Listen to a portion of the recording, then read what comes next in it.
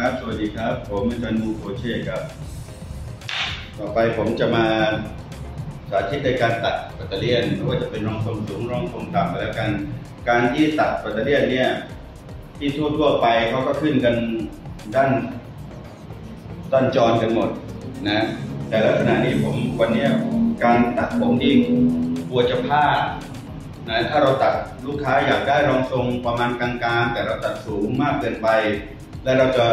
เราจะลดลดหลังได้ให้มันมันมันแก้ไขได้ ก็คือว่าถ้าเราตัดด้านหลังสูงมากเกินที่ลูกค้าต้องการเนี่ยเราสามารถที่จะลดด้านข้างให้มันต่ำออกมาได้ แต่ถ้าเราตัดเริ่มด้านข้างก่อน ถ้าเราตัดด้านข้างผ้าสูงมากเกินไปด้านหลังมันก็ต้องขึ้นสูงตาม เพราะฉะนั้นเนี่ยมันก็ยิ่งสั้นกันใหญ่ เพราะฉะนั้นวันวันนี้เราจะมาเริ่มการตัดปัตเตอร์เลียนโดยที่ว่าตัดแล้วลงตัวไม่พลาดเราเริ่มตัดจากด้านหลังก่อน นะครับเราถ่ายจากปลายหวีขึ้นมาหามือเลย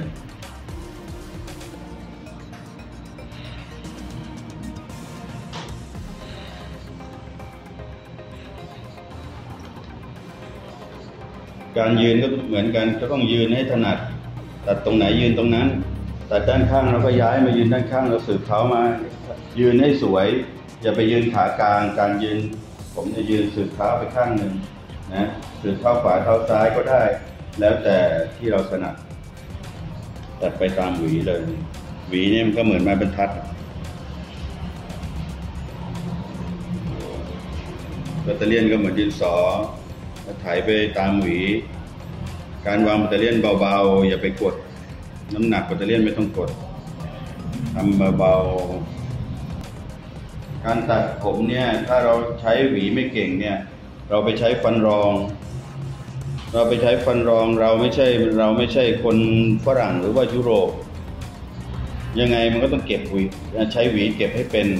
ถ้าเราไปถนัดแต่ใช้ฟันรองอย่างเดียวใช้หวีไม่เก่งเนี่ย มันก็เก็บนวลไม่ได้ เพราะฉะนั้นเนี่ยต้องฝึกมาก ๆ เลยกับหวีเล็กหวีใหญ่แล้วแต่เรา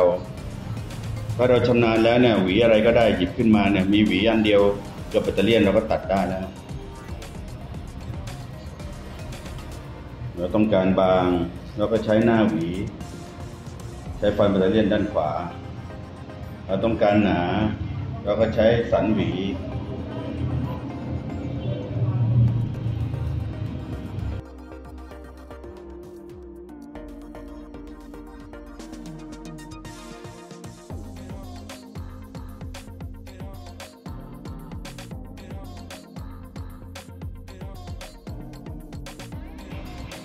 เวลาการ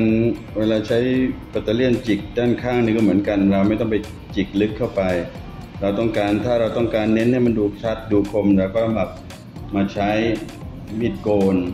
เก็บอีกครั้งหนึ่ง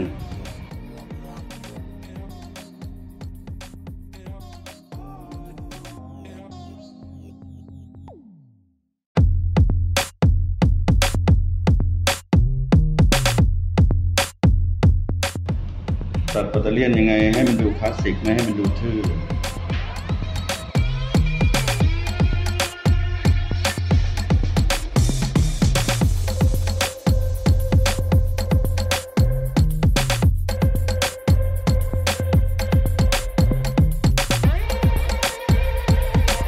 การที่เราจะถ่ายปัตเตอร์เลียนให้มันดูคลาสสิกเนี่ยเราก็ถ่ายวางหวีเบาๆ จับปัตเตอร์เลียน ให้มันมันมันแผ่วๆอะอย่าไปเกร็งการหวีก็ไม่ต้องเกร็งการถ่ายปัตเตอร์เลียนก็เบาๆเหมือนเราแกว่งปัตเตอร์เลียนเล่นอย่างนี้ลักษณะนี้เบาๆง่ายๆ ลูกค้าหลับเราก็ยัง control ได้ได้ดี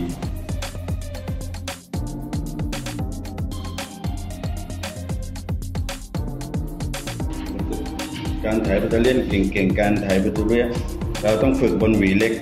มากๆ เวลาเราเดินปัตเตอร์เดินปัตเตอร์เลียนบนหวีเล็กได้คล่องเนี่ย เราหวีใหญ่เนี่ยสบายมากเลย ถ้าเราไปฝึกใช้แต่หวีใหญ่หวีใหญ่ไปเก็บหวีเล็กไม่คล่องเวลานั้นเราเก็บนวลไม่ได้เนี่ย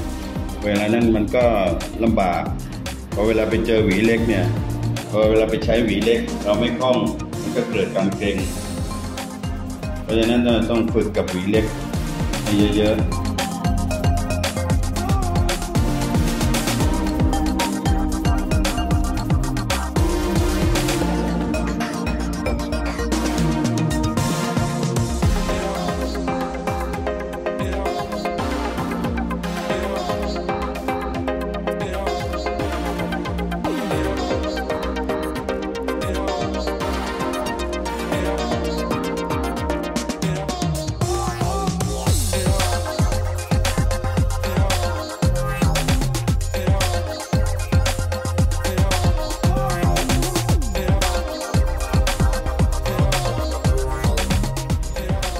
เวลาเราเราจิกแบตเตอรี่เนี่ยจิกแค่เป็นแนวเฉยๆไม่ต้องเข้าไปลึกบางคนกันเข้าไปลึกแล้วมันดูไม่สวยน่าเกลียดไม่กระสิเวลาเราแบตเตอรี่อุปกรณ์ทุกอย่างถ้าเราเก่งเนี่ยถ้าเราใช้มันบ่อยๆเราจะมาเนี่ยอย่างแบตเตอรี่เนี่ยเอามาใช้ซอยก็ได้มาใช้ซอยผมก็ได้ ไม่จำเป็นที่เราจะต้องมาางคนบอกว่าโอ้ยซอยผมต้องใช้กันไกรต้องใช้มิดโกนใช้แบตเตอรี่ก็ได้ ผมชายก็ซอยได้ผมหญิงก็ซอยได้ขอให้เรารู้จักรู้จักปรับปรุงรู้จักฝึกฝนมันบ่อยๆ อุปกรณ์แต่ละอย่างเนี่ยเราฝึกฝนมันเดี๋ยวมันเก่งไปเองอุปกรณ์ทุกอย่างใช้ได้หมดนะ ตัดผมใช้มิดโกนจะใช้กันไกรฟันจะใช้กัน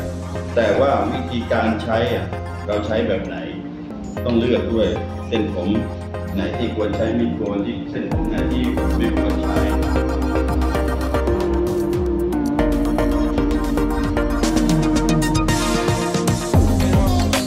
แล้วก็เจาะเป็นลักษณะไฟคัตติ้งได้นะเราต้องการให้ปลายผมมันคิ้วเราก็เจาะได้ เหมือนกันแหละเจาะให้มันเป็น point cutting ผมชายก็มีลักษณะแค่นี้นะเราขึ้นทรงได้ประมาณเนี้ยขึ้นทรงให้มันได้ให้มันสวยแล้วก็ด้านบนกับด้านหลังตรงนี้ เราก็ซอยเอาเราจะใช้กรรไกรซอยเราจะใช้มีดโกนซอย หรือว่าจะใช้อุปกรณ์อะไรก็แล้วแต่ที่เราสามารถที่จะใช้ได้สามารถที่จะตัดได้แต่ส่วนใหญ่เขาก็จะใช้กรรไกรกัน เพราะฉะนั้นเนี่ยการที่เราจะตัดปัตเตอร์เลียนให้เนี้ยบให้คมเนี่ยต้องจับอุปกรณ์ให้คล่อง จับอุปกรณ์ให้ถนัดนะจับให้ถูกต้อง จับหวียังไง จับปัตเตอร์เลียนยังไงให้ถูกต้องนะครับผมสนใจที่อยากจะศึกษาเพิ่มเติม ไม่ว่าจะเป็นผมชายในแนววินเทจหรือผมชายทรงมาตรฐานหรือว่าผมหญิง หรือเทคนิคการตัดซอยอติดต่อได้เบอร์ด้านล่างนะครับโรงเรียนเสริมโรงเรียนออกแบบทรงผมอาจารย์อาทิตย์สาขาสำโรงนะติดกับสถานีรถไฟฟ้าสำโรง ใกล้กับสถานีตำรวจสำโรงครับผม